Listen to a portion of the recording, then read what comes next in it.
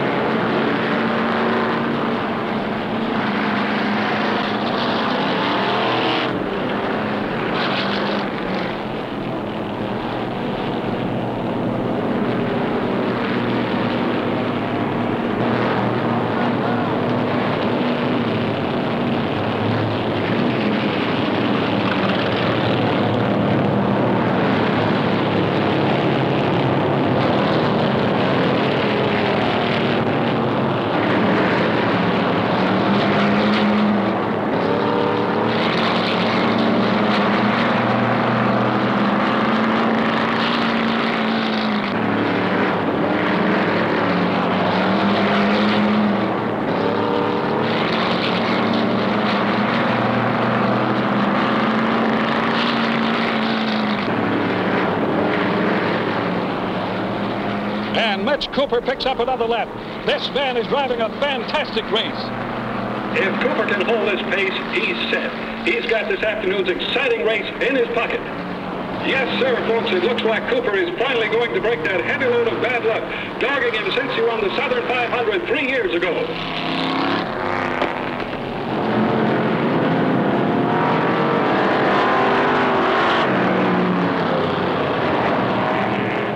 Oh, no, there's Terry Lang at number 41, making his bid, and he's really highballing. Old Mitch is going to get a run for it. There goes Terry, going to pass on the high side, and it's Cooper fishtailing into it. That was Terry Lang in number 41, out of the race, thanks to Mitch Cooper, the man who knows all the tricks and doesn't hesitate to use them. Wait a minute. Looks like someone's in trouble. It's Cooper in number eight, and he's blown a tire. He's in real trouble. Thank you.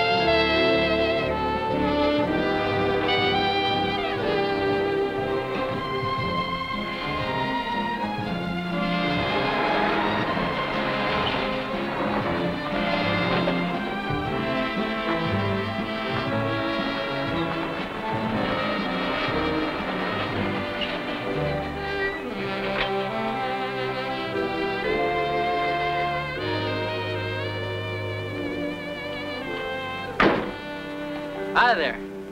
Got some troubles? Yeah, sort of. Uh, where'll I find Ben Williams? Oh, I'm afraid you won't. Old Ben died about three years back. Oh. Well, I'm real sorry to hear that. Yeah, I took over the place. Can I help you, though? Well, you know, I I used to work right here for old Ben, help him out. As a matter of fact, you might say that I lived right here. Looks like uh, Ben expanded the place quite a bit. No, I did most of that. Hey, what can I do for you? Oh, nothing much, I guess. Well, wait a minute. What'd you come out here for? Well, I told you, to see Ben Williams. Why? What about? Well, I don't know. Uh, man gets a little broke. Uh, stomach gets a little empty. Gets a little lonesome, so comes crawling home. No, I, uh, I was born back up there in those hills. As a matter of fact, I uh, built my first car right here. Out of old junk heaps that uh, Ben used to buy up for salvage. Boy, that first car really had scorch. Yeah, I bet. Well, listen, I got... You know, I had a real ball driving these hills. As a matter of fact, that's, uh, that's where I learned how to race. I uh, was running moonshine from the revenuers. yeah, I had a ball. Real ball. Well, boy, I'll be seeing you. Hey, wait a minute. That yours? Yeah, what's left of it. How many horses? 230. Mitch Cooper. Didn't I read you got clobbered in some race? Yeah, both of us. Wow, what a mess. Honey, come here for a minute, will you?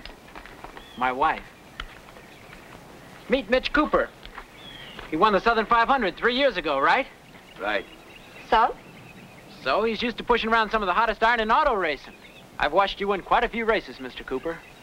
Well, this is one you didn't see me win. Well, I guess you can't win them all.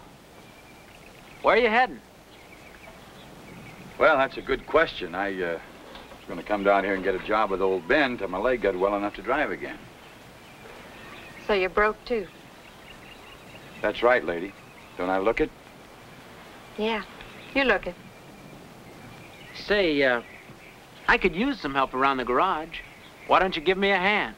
I can afford it now the way things are going. Maybe in our spare time we could even fix up your wreck. I got every tool you ever heard of. You can even stay with us for a while if you want to. Where'll we put him? Well, what about that storeroom in the garage? Put a cot in there. How about it, Mr. Cooper?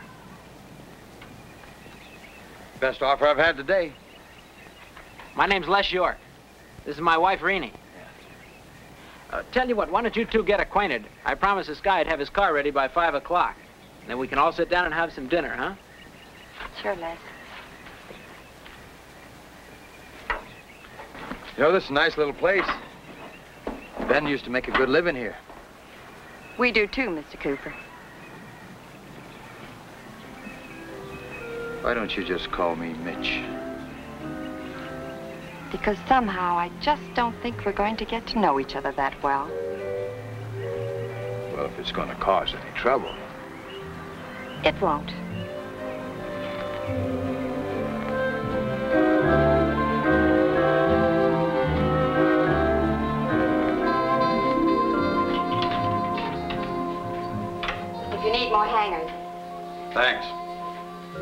Mighty fine meal tonight.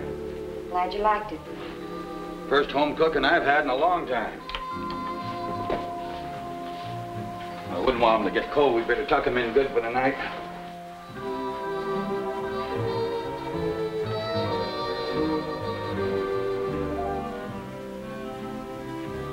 Good night, Mr. Cooper. Like I said, just call me Mitch.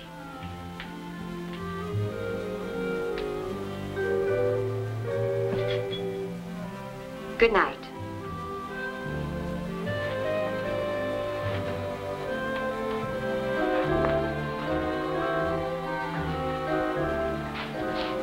Same to you.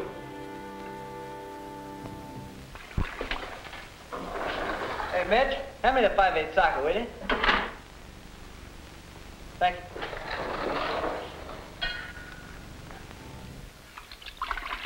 What do you figure on doing with your car now that we almost got it ready? Sell it? What made you decide that? Well, I'm going to have my leg in a cast for a while yet. A racing car is no good without a driver. You know, I could drive it for you. I've done a lot of hot rodding, drag strip stuff. It's pretty good, too. Yeah.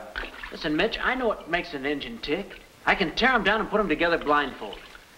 Yeah, but that doesn't make a driver. A lot of drivers can't even change a tire. Yeah, I guess that's true. We could go partners. Split everything, 50-50, right down the line. Look, forget it. You got a good business here, you're making money, you got a pretty wife, forget it. Oh, that's something else. Mitch, I always wanted to try my hand at auto racing. You could be my chance. Look, I said forget it. Well, just tell me why not. All right, I'll tell you why. 10,000 guys want to oh, be Oh, drivers, see? sure. And maybe one, just one's going to make it. You don't just get into a car and start driving. You're either born with it or you're not. Or maybe you don't know what I mean. Yeah, I know what you mean, and I think I've got it. Otherwise... Otherwise, you'll spend the rest of your life winding up in seventh place. You gotta have ability, natural ability. Well, how do you know I haven't got it? You think you've got it? Yeah, I think I've got it. All right, we'll just see if you got it. We gotta check that car out anyhow. Good, it's almost ready. I'll pick up the clutch this afternoon. Put it in tonight. Well, uh, just don't uh, make all the noise in the world. I gotta get my beauty rest. Yeah, you sure do, Mitch. Hey, you know, uh, a little of that fresh mountain air might not hurt either one of us. Coming out of the straightaway on a track, you hit the turn high and on the outside, and don't drift. You drift on a turn with all that traffic behind you, and you wind up in somebody's lap. So you say to yourself, in slow and out fast. In slow and out fast. Yeah, you pick your groove and you stay with it. Let's go for a ride. What about the safety belt?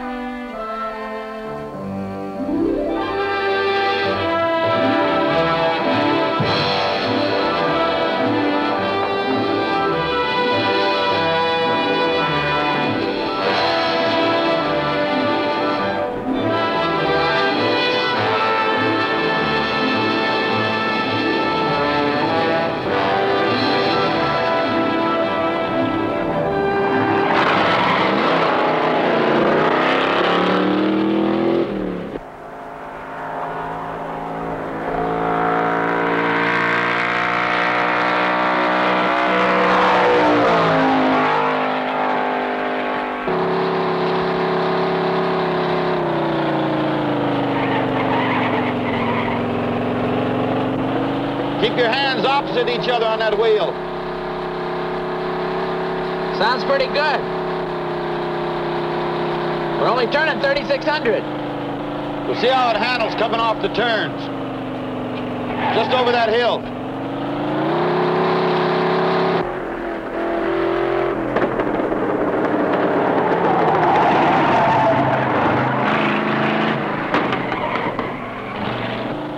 Sure feels good, Mitch. In slow, out fast. Okay.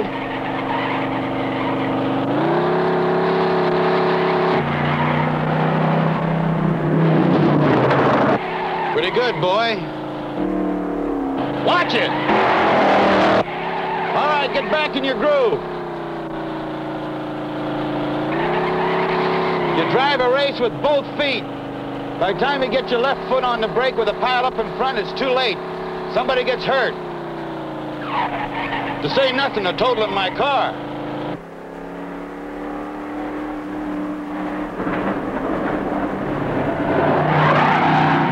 Say, you're all right.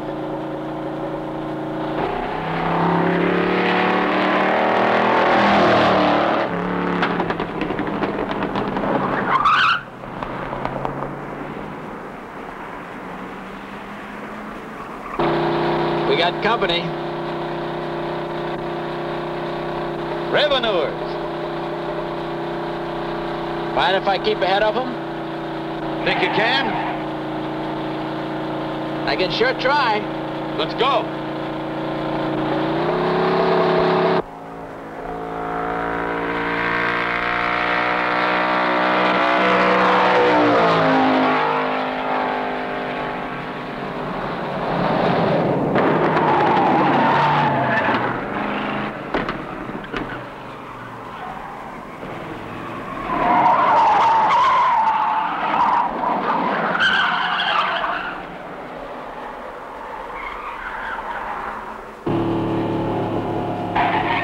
Roy. Stomp on it. They're closing the gap.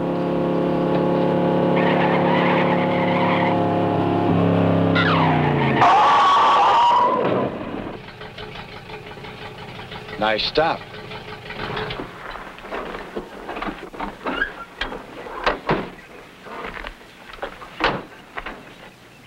Get out. Any trouble, sir? Mitch Cooper. Hiya, Roy. I've been looking for you for a long time. Search the car. I mean, search it. Okay. Wait a minute. What for? I'm just taking a ride with my friend. I was teaching him how to drive. Get out, both of you. All right. You say so, Roy.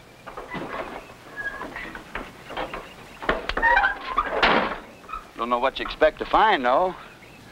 Hmm, what happened? Oh, I, I mashed my ankle real bad. Sorry, so sorry. Search for false floorboards. Yes, sir. No man has ever caused me more sleepless nights than you have, Cooper. Well, why? Because I used to like to drive around these mountains late at night? You know what I mean. He's clean, sir. Can't be. Search for dummy gas tank. Okay, sir. Hey, you know, Les, Roy here would have made a good driver on the circuit. How come you never turned your talents to race driving?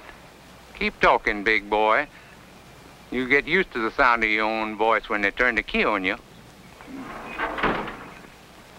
Not a thing. Can't be. No dummy gas tanks, no false floorboard, nothing. Not a thing. Hey, just a minute. You didn't stop me because you thought I was running shine, did you? Oh, get out of here, both of Now, you. wait a minute, Roy. You know I wouldn't break the law. I'll get you yet. Get out.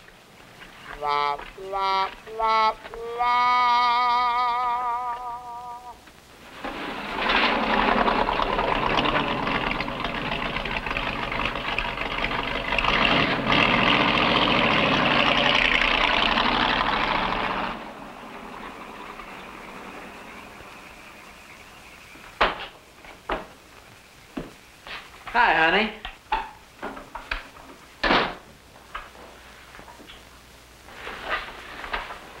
You're late. And what are you doing up? Worrying about you. Big boy like me? I went to the bank today, Les. The money's been going out. I, uh... I meant to tell you about that, honey. Uh, Make it good, Les. well, I, uh... Sort of loaned the money to Mitch. That was charitable of you. Oh, you don't understand, honey. You needed it to buy uh, new parts for the car. And what are we, the finance company? Rainey, honey, I don't know what you got against this guy. He doesn't mean any harm. He's working very hard. In fact, he's the one doing me the favor. He's teaching me how to drive. What I'm trying to say is, honey, I'm racing Mitch's car. We're gonna split the purse. And what about the coffin when you go and get yourself killed? Is Mitch gonna split the purse on that too? Oh, come on, honey. Don't you know you're married to one of the indestructible Iron Men?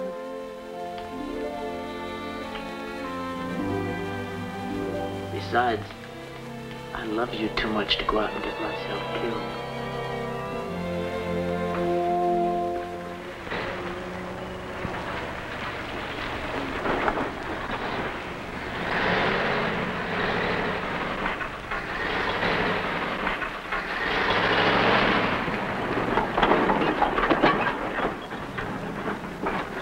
on that timing, Eddie.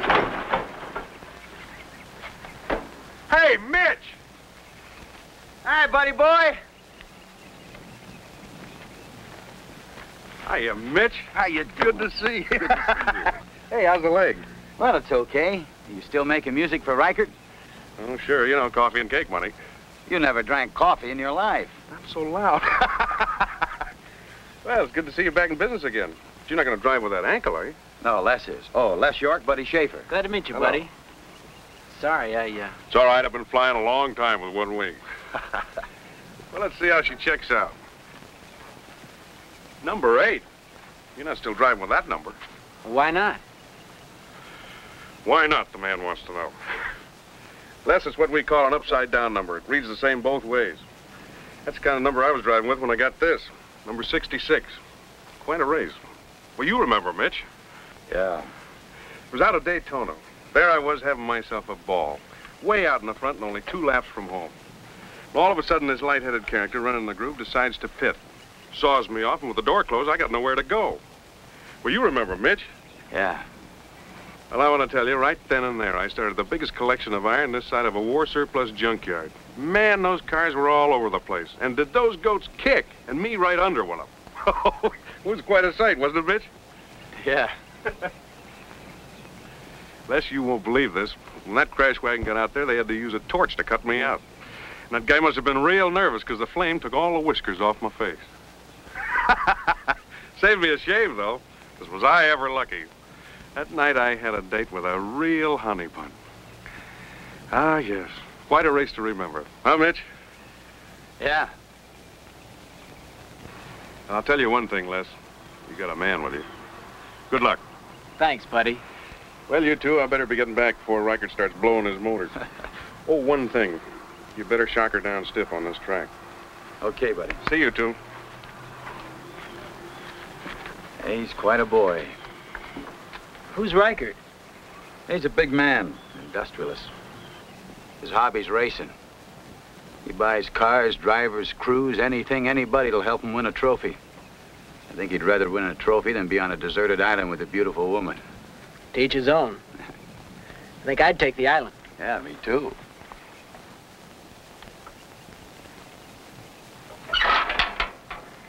Let's see if you can give him a run for that trophy, huh?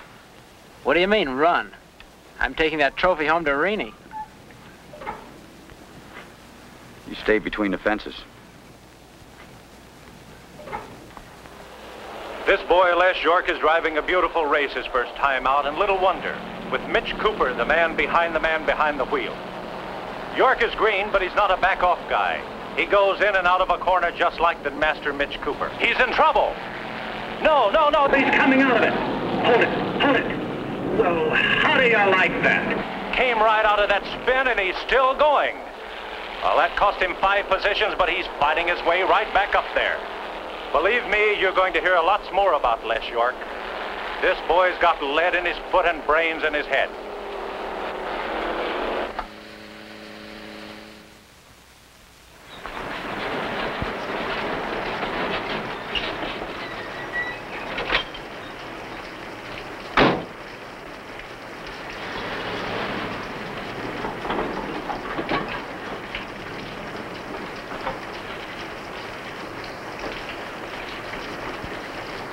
Rennie?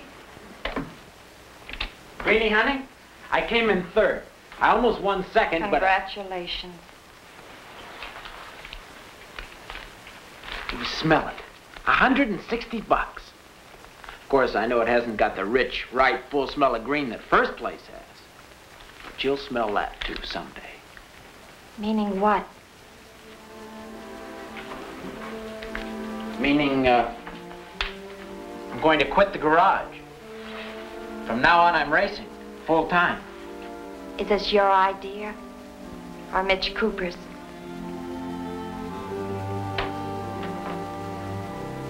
Honey, I'm going to be big. I know I can. I know from the way I drove today. Well, Mitch says I've got it. Les, This isn't the way we planned it. And I don't like it. Can't you see, honey? This is my big chance.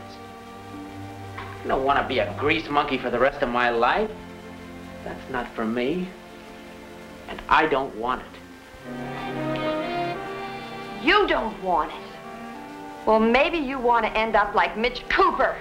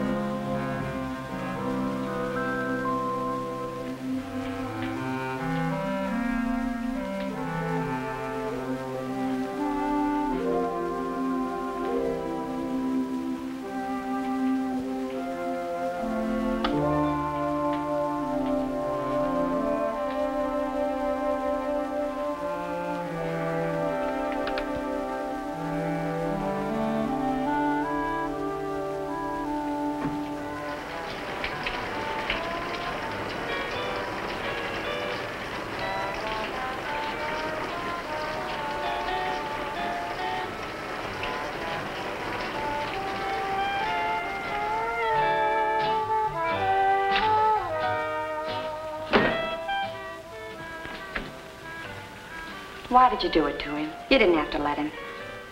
Look, why all me? Les's idea.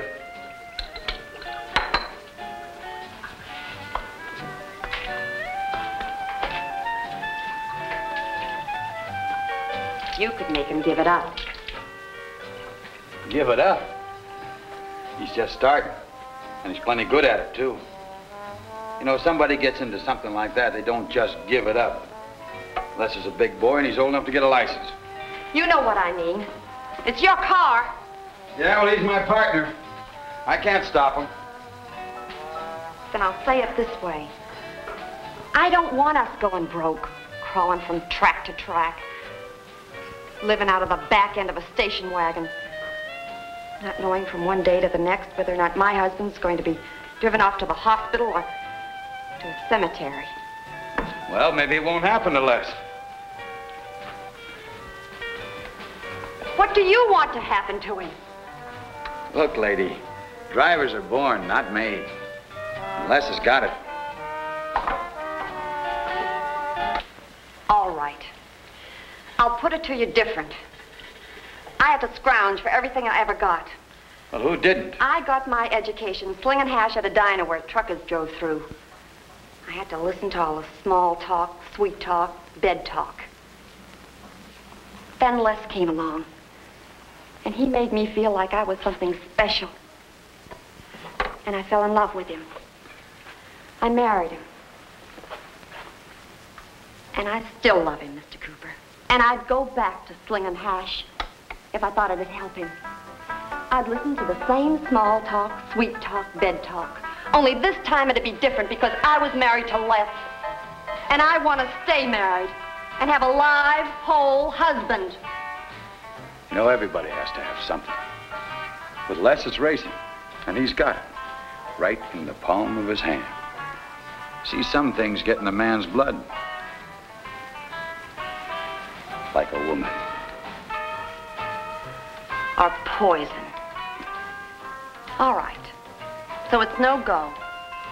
Only I'll tell you something, mister.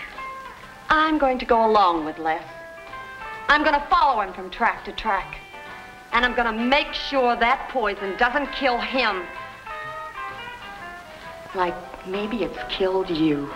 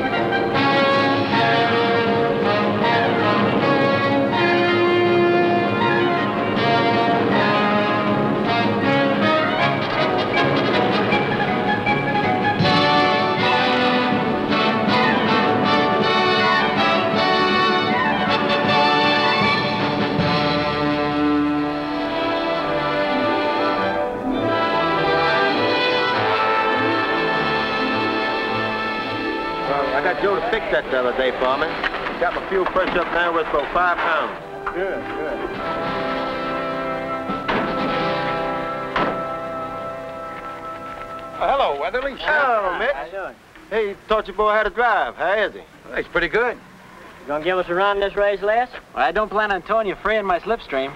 Hey, listen to this guy. Thinks you can win the race. That's right. Good to Good see you. See you, So boys. Ah, you're beginning to talk like a big man, Les.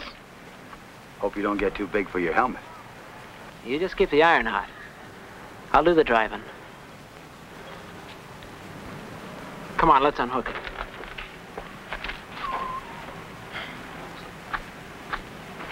Look, Higgins, I said close the hood. I mean it. Get the car ready for the track. Come on, knock it off, Tommy. You couldn't drive a kiddie car in your condition. Go on home. You go to hell. Come on, boys. You just try and stop me.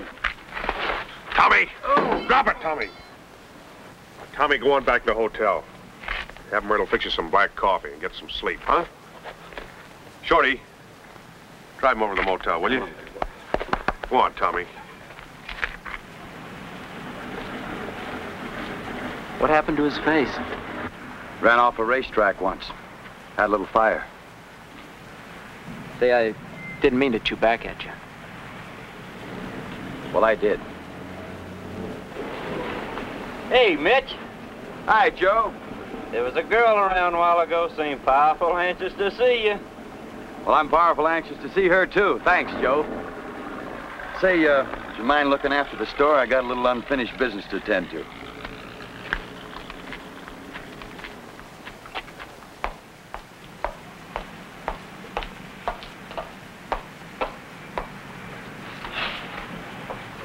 You'll have to bear with us, but it'll be a little while before your room is made up, Mrs. York. The people just vacated. But if there's anything I can get you in the meantime. No, thanks. I'll just sit and wait. Hi, my name's Kay Hill. Hello, I'm Rena York. I know these all-night rides to a racetrack. Why don't you wait in my place? A nice cool shower. Oh, heaven. Come on, it's this way.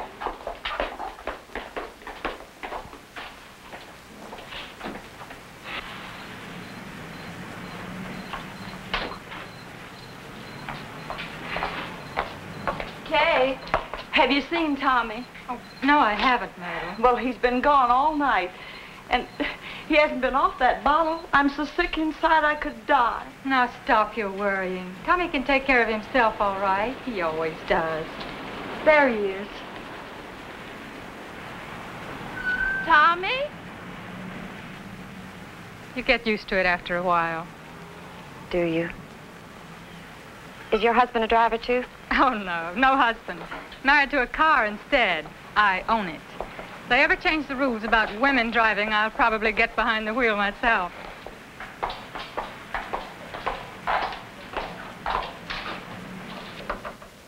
Well, here we are. Just make yourself at home. Thanks.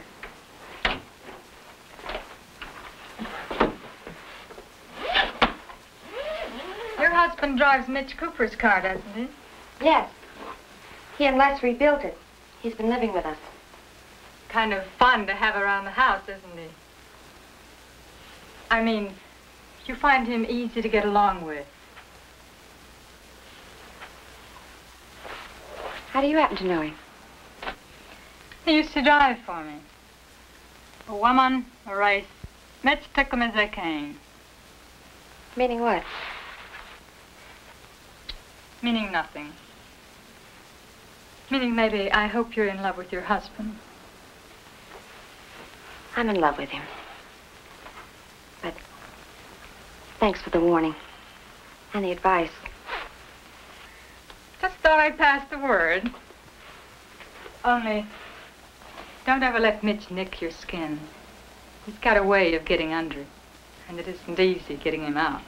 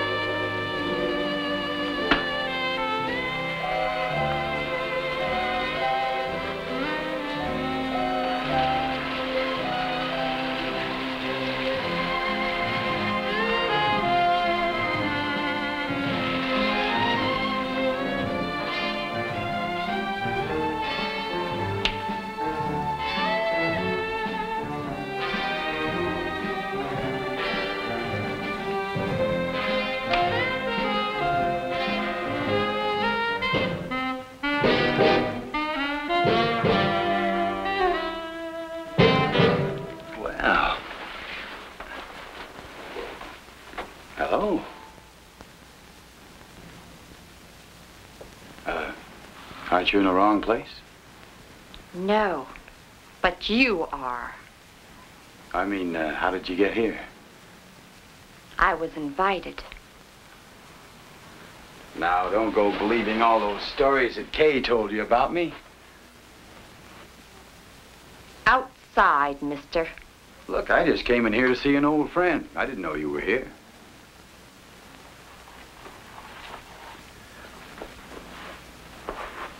Are you gonna go or do I have to yell? You know, you look cute in that thing. I like it even better than that car coat. I guess I yell.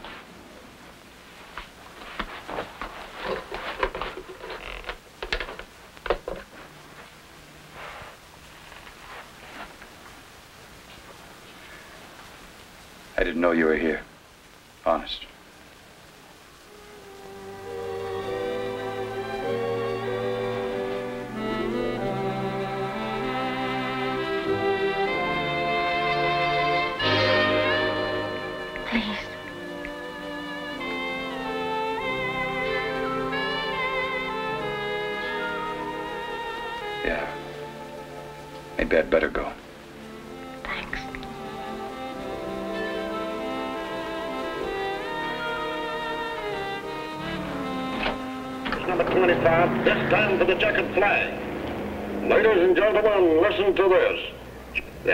Speed, ladies and gentlemen, for the four laps is 121.438 miles per hour to establish a new record here at the Southern 500. Well, he's a boy to beat. Looks like Reichert bought himself a bargain this time. Little Junior's going to have a good position when the starter drops the flag. It's all foot and no brains. Might make a good driver someday. If he lives. Maybe. That's still not winning the race. All right, you guys, lock it up. I'm going out there. Not yet. Huh? See those clouds up there? Yeah. Well, in a couple hours, this track's going to cool off. Smooth your carburation out.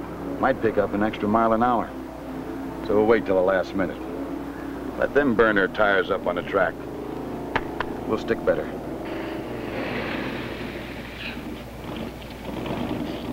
Nice driving, Thorson. Thank you, Mr. Reichert. Take the car over the inspection area, kid. I'll make the arrangements.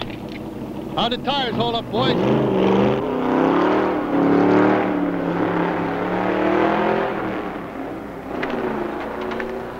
Hey, uh, you know, that Reichert doesn't seem like such a bad guy.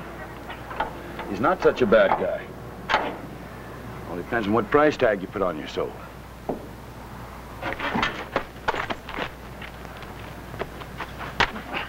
Now, what'd you do that for? Don't you ever let me catch you eating those things around here again. But, Mr. Cooper, what did I do wrong? Look, Stoogie, you just don't eat peanuts in the pits. But I like peanuts, Mr. Cooper. I always eat them, ever since I was a kid. The next time I catch you eating those things around here, I'll ram them down your throat, peanut shells and all. Now, don't you forget it.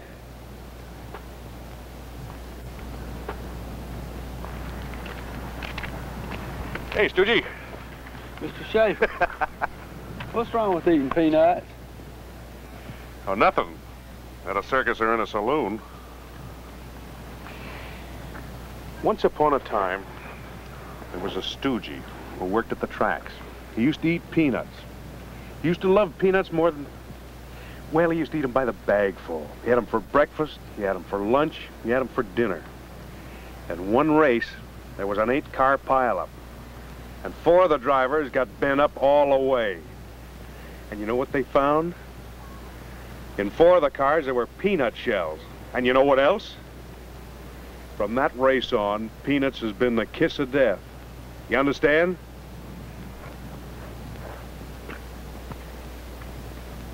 Ladies and gentlemen, The next driver out for his qualifying runs this afternoon.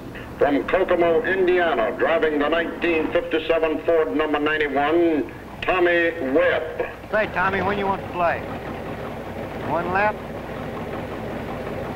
Say, are you okay?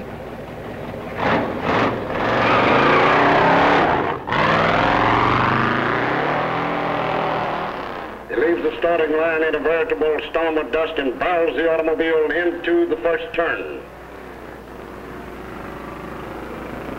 It's a milk run. He's only going around the track, Murray, alone. He's got it all to himself. Ladies and gentlemen, this Tommy Webb, driving this 57 Ford number 91, is one of the real old pros in this stock car racing business. Always a tough competitor, always a driver and a car to watch.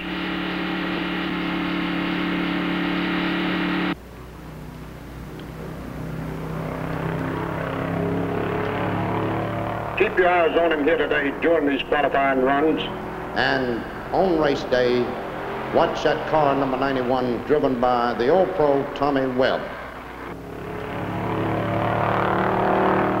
Tommy Webb bows that automobile off the fourth turn, down the straightaway, this time for the green starter's flag, and he's on his official qualifying run. He moves into the first turn, high up against the guardrail, handling very nicely indeed as he goes out of the first into the second turn. Really barreling, rolling that automobile now.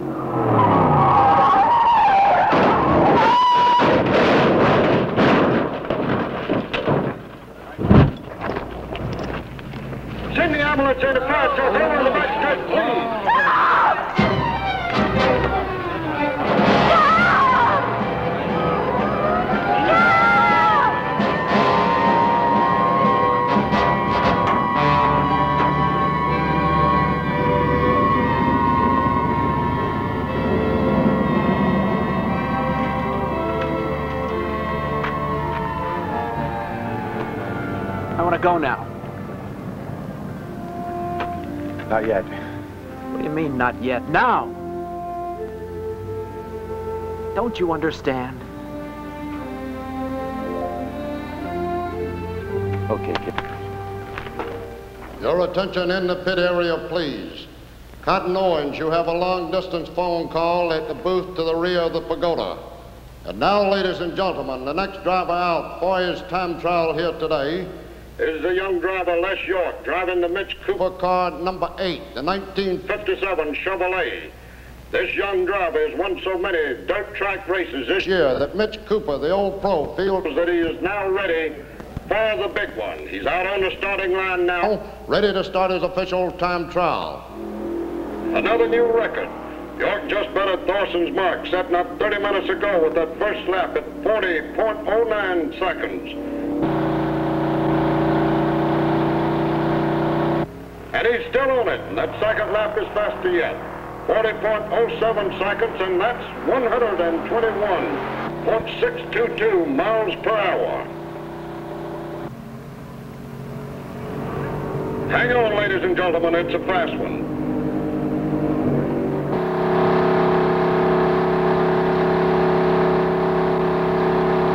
Les York in car number eight enters the fourth turn.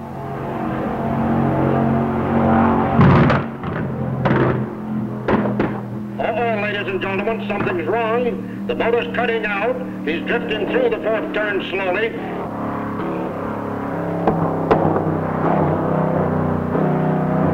Now heading into his pit area. And Mitch Cooper has walked out on the apron to the track, awaiting the arrival of the car to determine what happened. What happened? Oh, the motor quit. All the guts went out of it. Take it easy, kid. We'll fix it.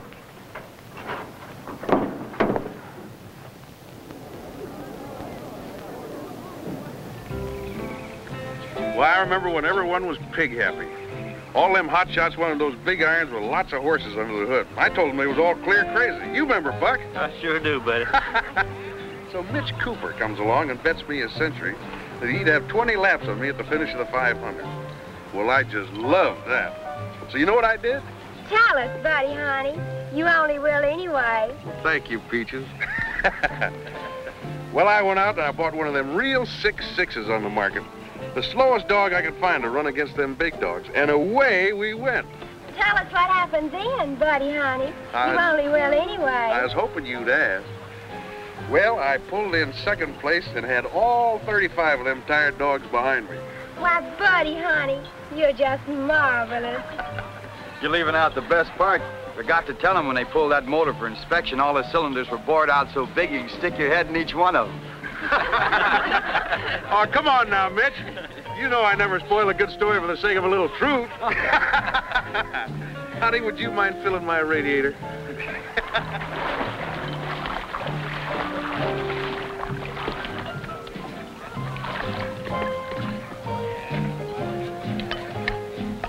Hey, how about a hand?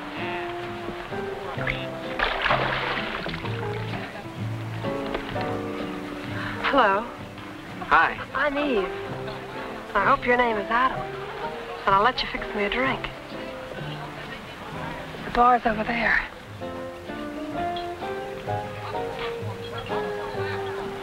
Who is that? Her name's Eve Mason. Three years ago, her husband spun out and died. She's been trying to forget ever since. Well, she doesn't have to forget with my husband. Not just Les, honey. It's any man, any husband. But I'm not just any wife.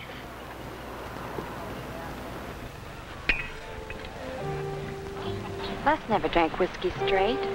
Want me to talk to him? You're the one who said it, Mitch. He's a big boy.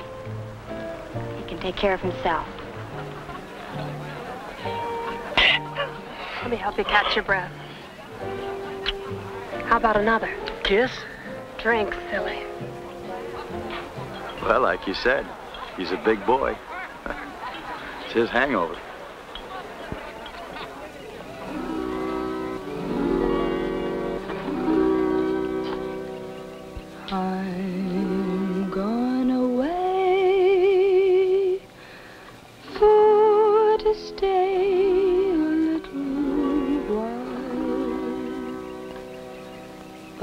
I'm coming back. If I go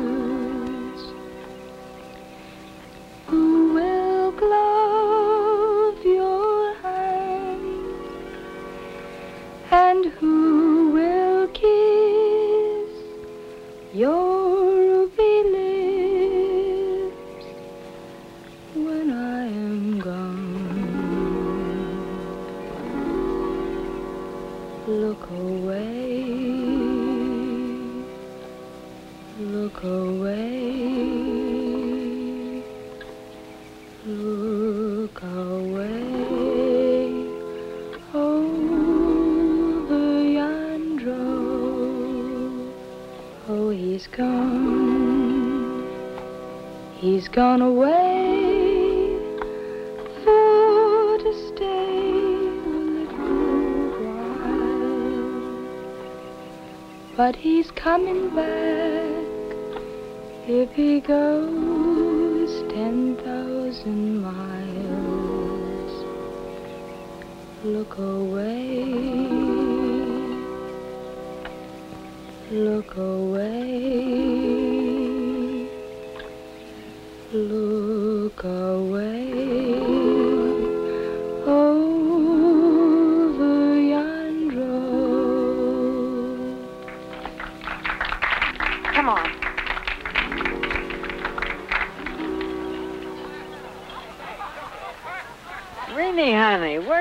you been? Renee, I want you to meet Evie. Evie, this is Renee. And meet Mitch Cooper. He's the greatest We've, uh, guy. We've met. You need a license for hunting, darling. Big jungle, dear. They roam around wild. What do you expect?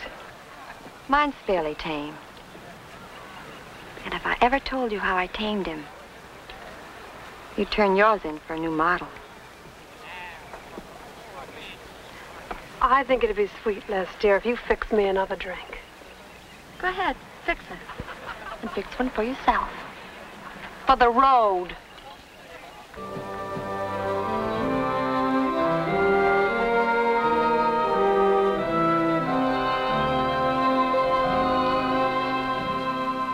A cup of coffee?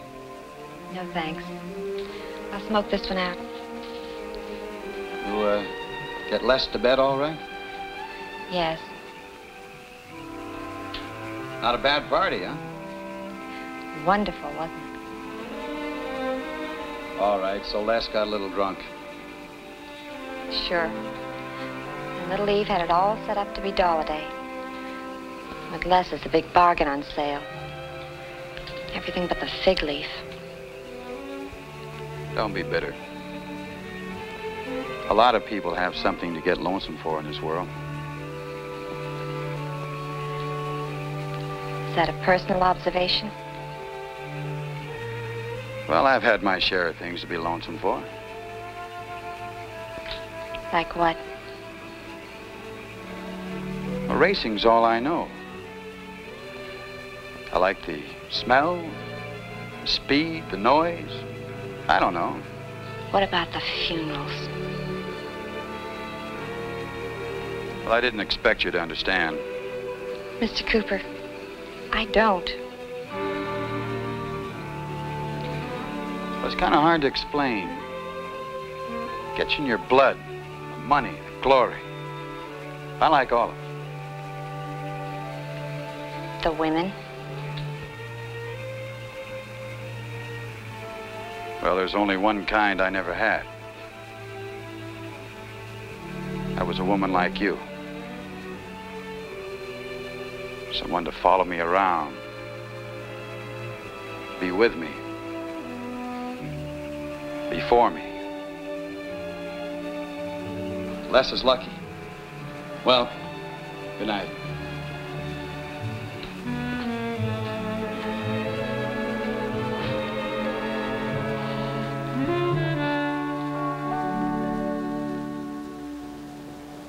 Take her around for a few laps, kid. Profile those tires.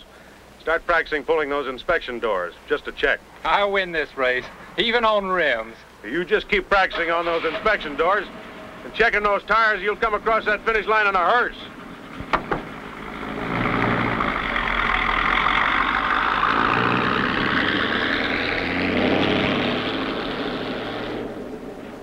You ever hear that drinking and driving don't mix? Hey, Mitch. Let's see you a minute. Sure. You go on. Take your head with you. See, I was wondering, uh, could I float a small loan? What's the matter? Doesn't Reichert pay off? Well, sure, but it, well, somehow it just seems to melt away. Yeah, like ice in a glass. Oh, I'll pay you back. You know I always keep a record. Yeah, I know.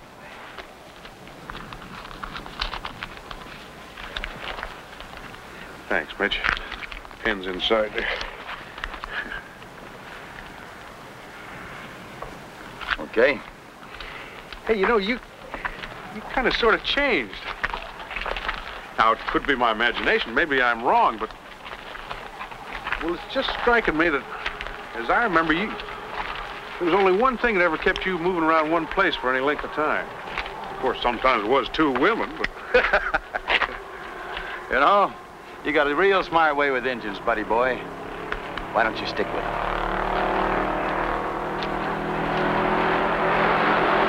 Oh, you're, you're pretty good. Yeah? Not today, I'm not. I've been watching you. Anytime you want to drive for me. Then what, Reichert? Live, breathe, and die for Reichert? Or bring the trophy home? I'm a liberal man, Cooper. Yeah, I know you are. You tried to be liberal with me once. You put up the money all right, but you take away the man. Why don't you try using robots for drivers? Uh, I'm giving a little party. You might call it a pre-celebration for my team and cars winning. I just stopped over to invite you two. Hope you can come. Thanks, Mr. Reichert. Yeah, thanks. So I still say, what's wrong with Reichert? His money talks big, pays his drivers top salary, even lets them keep the purse. All of it. You know, Les, I think you're counting dollar signs instead of sheep when you go to bed nights.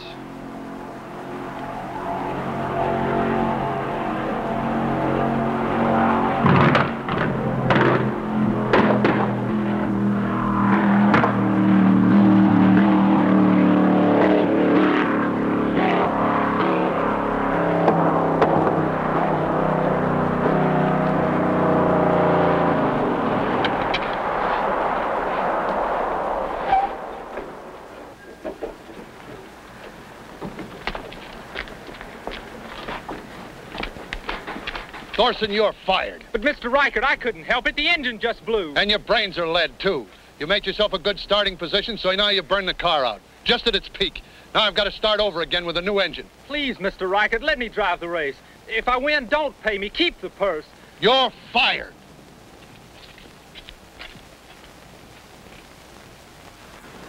Still think Reichert's a great white father? Hey, a new motor costs 1500 bucks, you know. That's like a 10 cent cigar to Reichert. He's got a dozen motors in that van over there, all set up. See, the kid hurt Reichert's pride. That's worse than blowing 10 motors. You know, Mitch, the more you talk, the more you're beginning to sound like you're turning into a real do-gooder.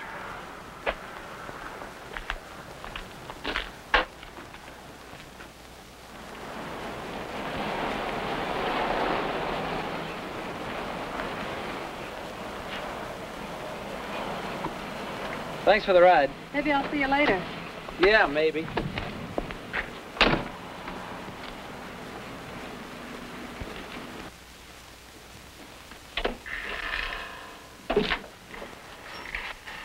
Hi, honey. Hi. Oh, boy, that cold shower's gonna feel good. How'd it go today? Okay. I must be getting pretty good. One of the big boys offered me a job today. Driving. Of course. Why don't you take me someplace tonight? We could go to a movie or just take a nice long walk. Well, we are going someplace tonight, all right. Mr. Reichert, this guy that offered me the job today, well, he's giving a pre-race party, and he asked me to come. Did you get my slacks back from the cleaners, honey? Yes. Les, I don't want to go to that party. Just a lot of strange people I don't know, and you'll just sit around and talk about racing. Can't we just spend the evening together tonight, alone?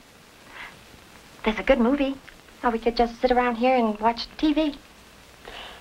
Honey, well, you don't understand. Mr. Reichert's an awful big guy in auto racing. And if he invites you to go someplace, well, you just can't ignore him. Are you going to quit Mitch and drive for him? No, of course not. But when Mitch's ankle's all healed, well, I might want to drive for Reichert. But that's some other time. And I'm here now, tonight. And I want to be with you. Alone. Look, suppose I just go for a little while, just long enough to say hello, then I'll come right back home. I suppose Eve's going to be there, too. Well, how do I know? I didn't see any list of invitations. Oh, come on, honey. Get yourself all prettied up. We'll have a good time. I'm sure you will. You'll have a good time. But it won't be with me. Why don't you lay off? I told you this was business, and I've got to go. Well, go ahead and go. And have yourself a real ball. Because I'm going to that party, too. But it won't be with you. Well, that's fine. That's just fine.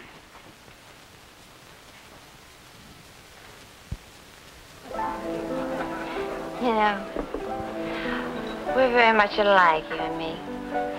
I mean, I. How's that?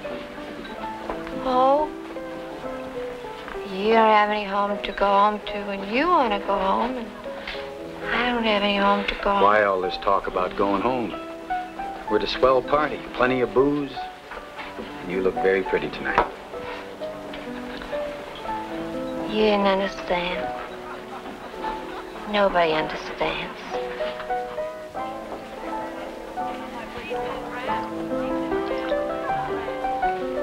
Bartender, Now just slow down. You won't last the night. Let's walk around for a little while. Come on. Costs about $10,000 to put one of those cars on a track, Les. And I got five of them. Just in case one of them isn't running exactly right. It's a lot of loot. My boy qualified for a front position before he blew up that motor. You could drive for me if you want to, Les. You'd be so hot they'd choke on the smell of your rubber. Well, I, uh, afraid I can't, Mr. Reichert. You see, Mitch and I will. I know. Loyalty. I admire a man who's loyal. But I also admire a man who knows what's best for himself. That's my department, isn't it, honey? Excuse us. Uh, excuse me, Mr. Reichert.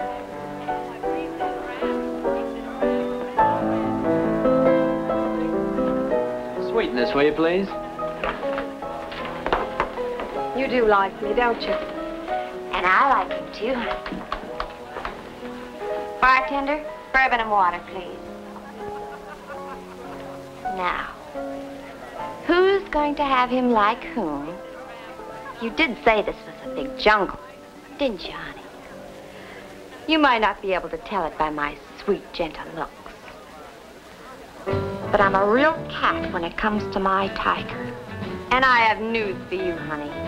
I don't share him with anybody, including you. Why, you! Why don't you go change your makeup, Eve? Go on. Take me back, Les. What'd you have to do that for? Why don't you take her home, Les? I don't need you to tell me what to do. I'll go if I want to or I'll stay. Then stay! Take me back, Mitch. Sure.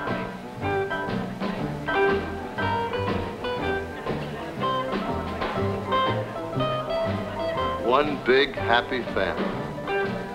Not if he lets Mitch Cooper play big brother to his wife.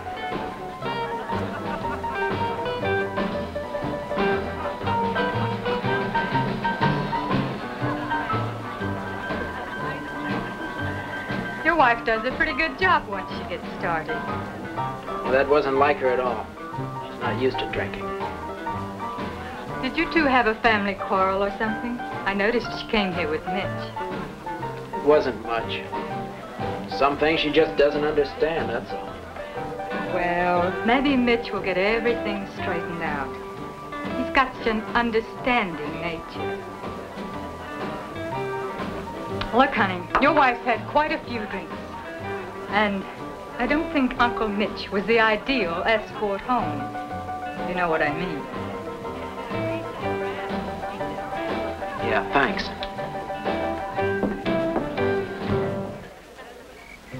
Wait a minute. You two make a real handsome couple, don't you? What do you mean by that? We go partners. 50-50. Well, that didn't include my wife. Les, you're all wrong. Am I? Stay out of this. From now on, you better stay out of my life. And hers. Look, I don't know what you're thinking. I'll tell you what I'm thinking. I'm thinking you and I are through. As of tomorrow, I'm driving for Reichert. Well, what about the race? What about my car? You can take the race and your car and go to hell. Or drive it yourself if you've got enough guts. Come on, you.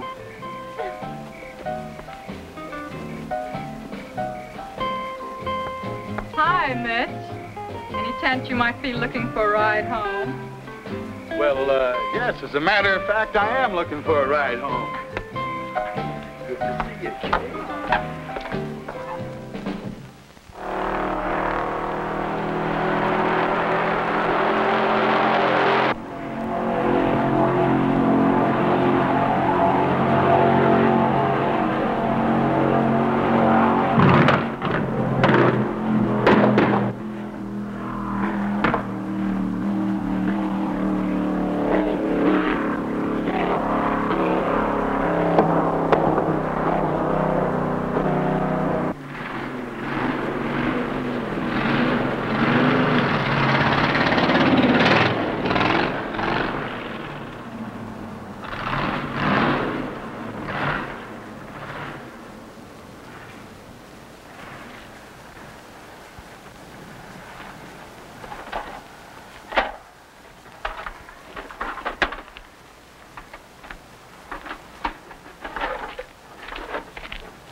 Back in a few minutes. Where are you going? Well, Cooper's got trouble, I think I know how to fix it. He never was any good at fixing them cars, but he sure knows how to drive them. Well, you're working for me, not Cooper. The boy's in trouble. He's got to qualify this afternoon. It'll only take a few minutes. Well, I'm not paying you to work on cars that are racing against me. If he can't fix it, that's his tough luck. Well, Mr. Reichert, you can't expect me to stand around when a guy's in trouble. Well, don't just stand around. Get busy on my car. Or get fired. Thanks, Mr. Reichert, for helping me make up my mind. I'll see you around the pits.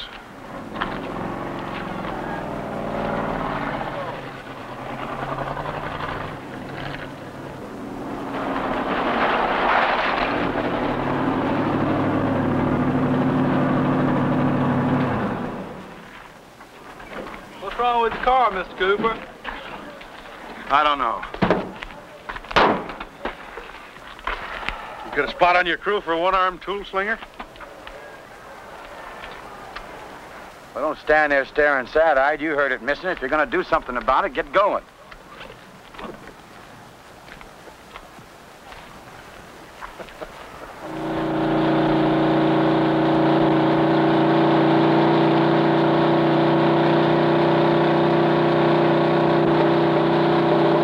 That was Mitch Cooper in car number finishing his qualifying run.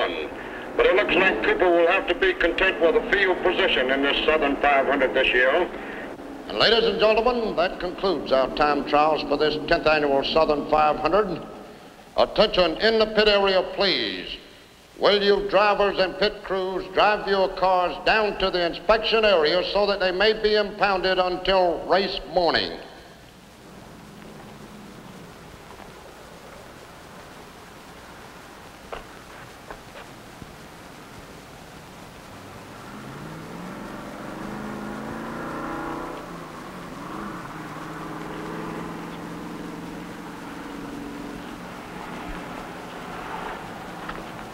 Did you lose something, Mr. Cooper? You never drive a track, boy, without walking it. Smelling out every inch. Checking the weak spots. But you know this track like your own skin, Mr. Cooper. Tracks change, boy. Just like people. Don't you ever forget that. Hey, Les.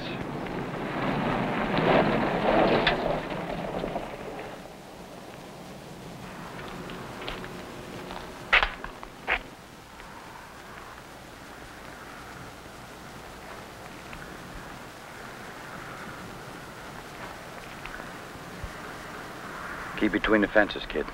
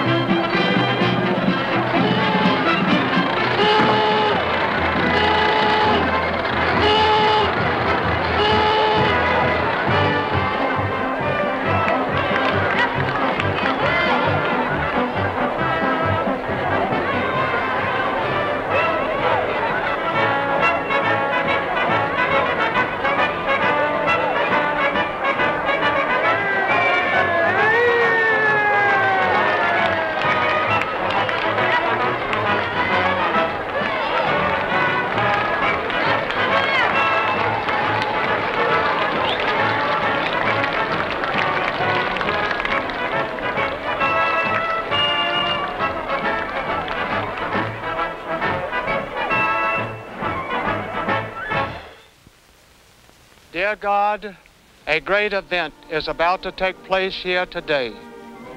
There will be danger here today, O Lord. And we who sit and watch these young men act out this great clean sport, pray that you will watch over them and protect them. And although there will be 50 of these young men waging a fearsome battle across the vast stage, there can only be one winner.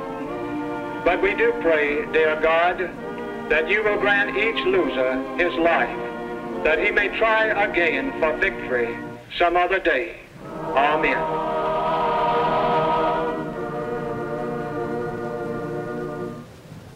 Attention all race car drivers. Gentlemen, go to your cars, please. Attention all race car drivers. Go to your cars, please. Gentlemen, start your engines.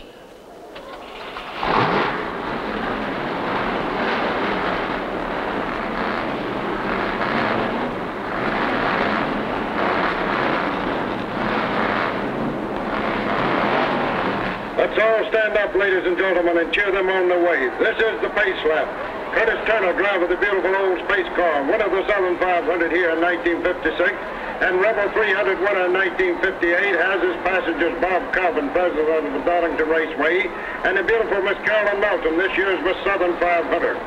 50 of the nation's top drivers make up the field here today, and 50 of the nation's fastest cars painted in all the colors of the rainbow.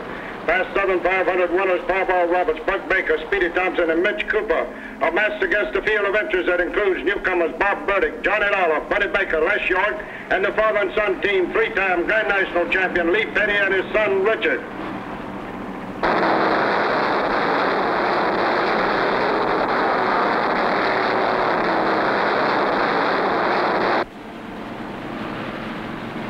Seventeen Chevys, sixteen Fords, eight T-Birds, three Pontiacs, three Plymouths, two Oldsmobiles, and one Buick make up the starting field here today. And they move on towards the starting line in the green flag that will get the Southern 500 underway.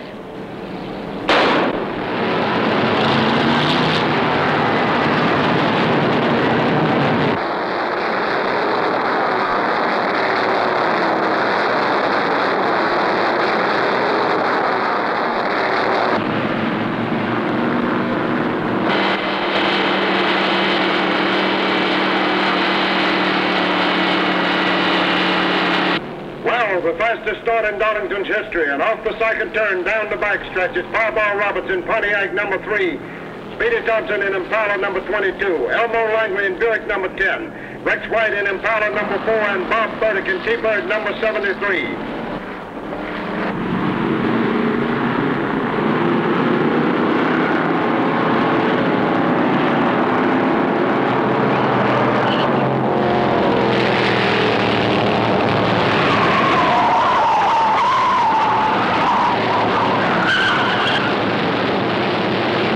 There goes Les York in the Olds number 25, moving out first and turn to contend for front spot.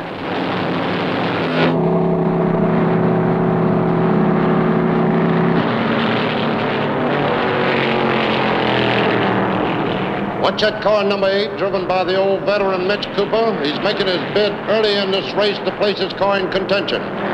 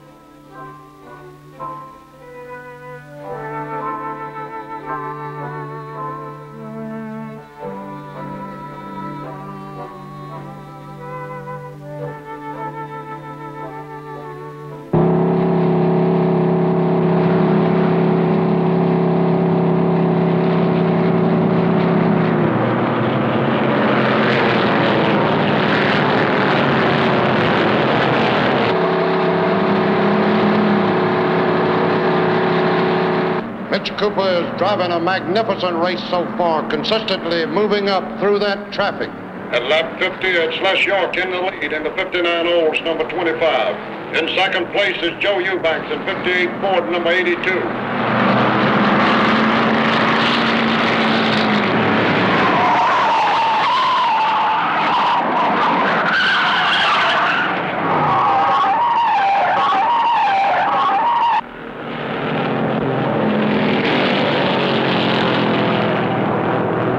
Cooper running flat out passes Tannen Carson on the inside. Cooper now running in fourth spot is very much in contention. Keep your eyes on that number eight automobile.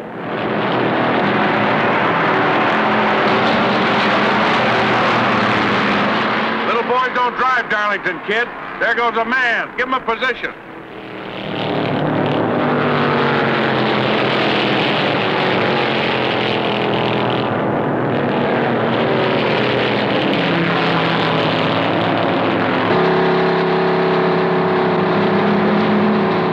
It's Les York still out front, but all these boys had better watch out for Mitch Cooper.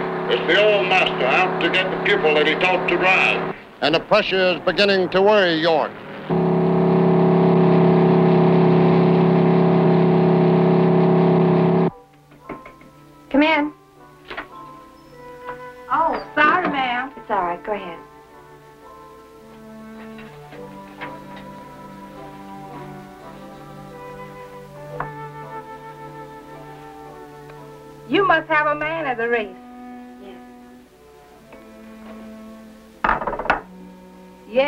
I've been cleaning these rooms a long time. You get to know.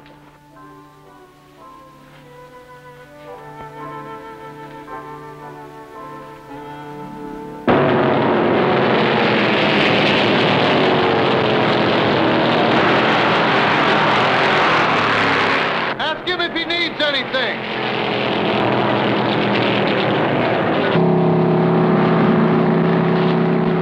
He's still good for 20 laps. Listen to this. The track temperature at this time is a blistering 132 degrees. Those tires are taking a terrific beating on this track today, and so are the drivers. For your information, ladies and gentlemen, those race cars aren't air conditioned. Cooper makes his bid. Look at that number eight go. He Gets around Langdon and Eubanks to grab the number two spot. Man, this is going to be a race. There's some looking faces in the pit along about now, and the pressure mounts. How about that, Stoogie?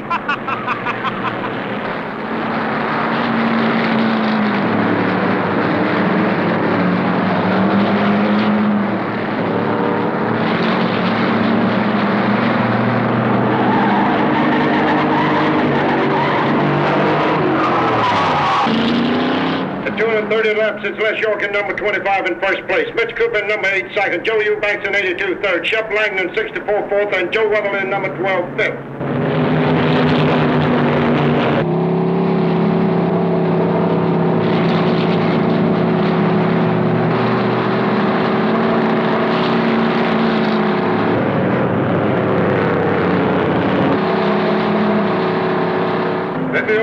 Mitch Cooper, is now riding in York's slipstream. Right against York's rear bumper, forcing York to literally tow him through these turns. I'll bet that's a little trick that Mitch didn't teach York.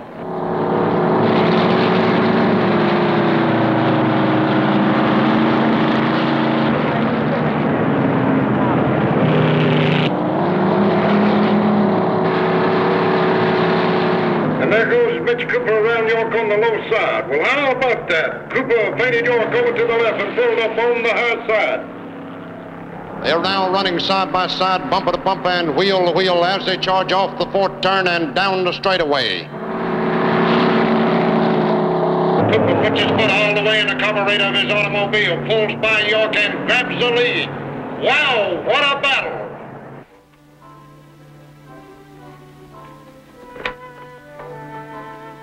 Please call me a cab right away. Thanks.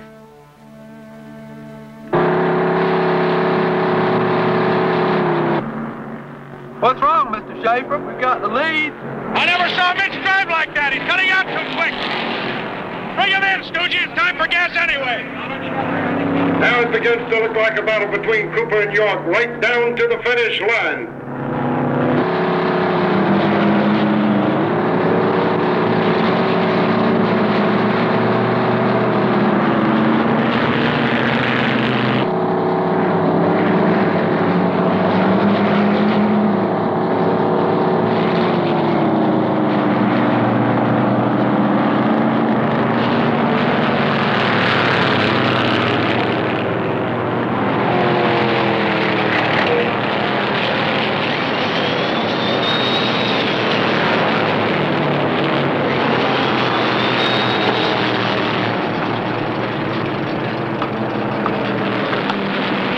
Come on, gas it up. I'm in a hurry. You're not going anyplace, Mitch. You've had it. Come on, hurry it up. You got a cracked brake drum. It won't last till the end of the race. Come on, come on, get that tire back on. Mitch, you can't drive. I'm going to finish this race. In a coffin, you do. Put the hood down. Put the damn hood down.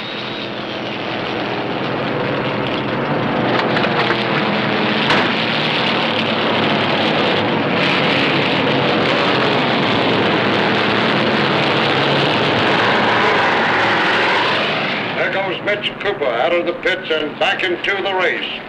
Seemed to be some trouble down in the pits that time between Mitch Cooper and his crew chief, Buddy Schaefer.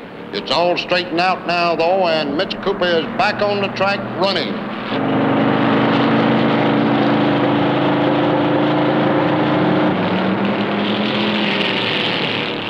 What's wrong with the car, Mr. Schaefer?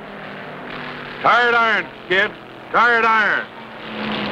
That pit stop cost Cooper some laps, but he's pushing that number eight now to make up for lost time. Bobby Johns, the young Miami entry, is still running strong in car 72, as is Richard Petty in car number 43.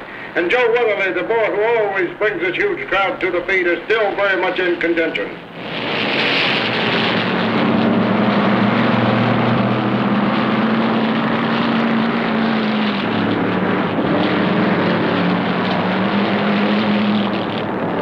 Uh-oh, it looks as if York is getting ready to pit.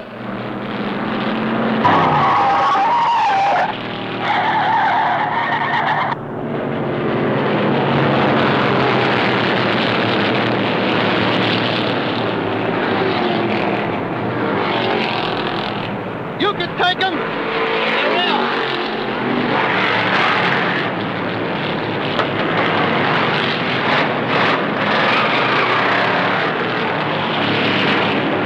That stop of York's now puts Cooper right back on even terms for the lead. Once again, it's the old pro battling with the pupil he taught to drive.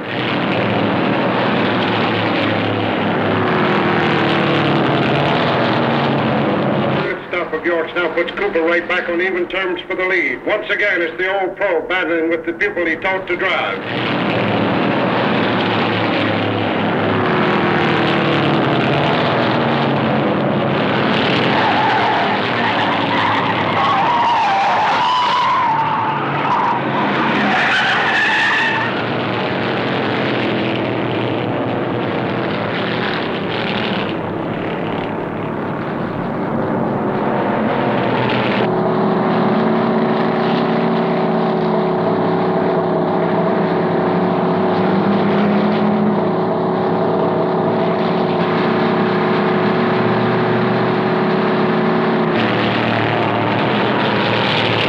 With only a few laps to go, it's Cooper and York side by side, bumper to bumper and wheel to wheel contending for first place.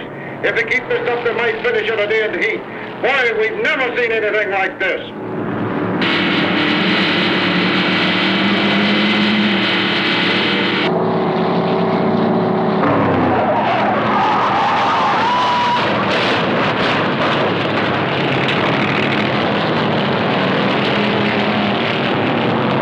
There may be a pile up.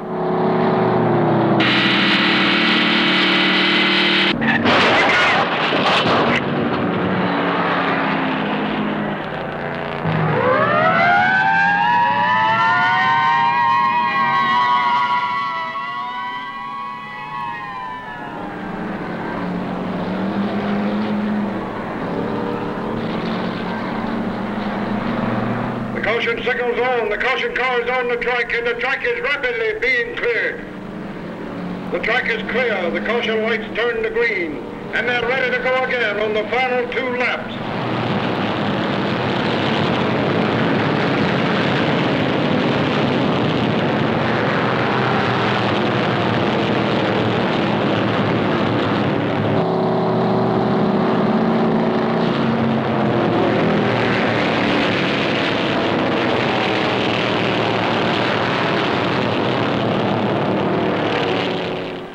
I had the machine, and Les York was the man to do it. This is what you wanted, so now you've got it.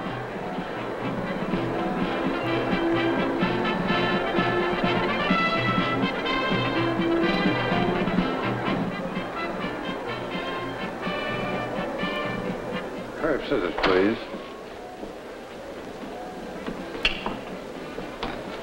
Hi. Oh, hi. How do you do? He. Ouch! Take it easy, Doc. Everybody saw you do it, Mitch. Why?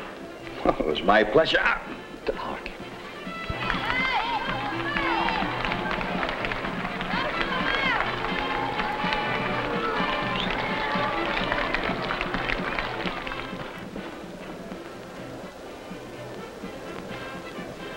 You won, huh?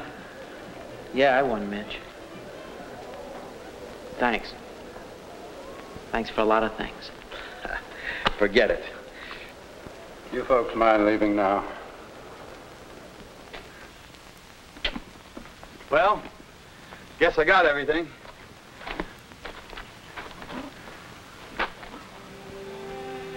Thanks. Be seeing you, Mitch. Good luck. You bet. Hey, uh, maybe I'll see you up in Hillsboro next month. 150 laps, pretty big purse. But gee, Mitch, uh, I don't know. You said I was married to one of those indestructible iron men. Yeah. Yeah, maybe you will. I'll be seeing you. So long, Iron Man.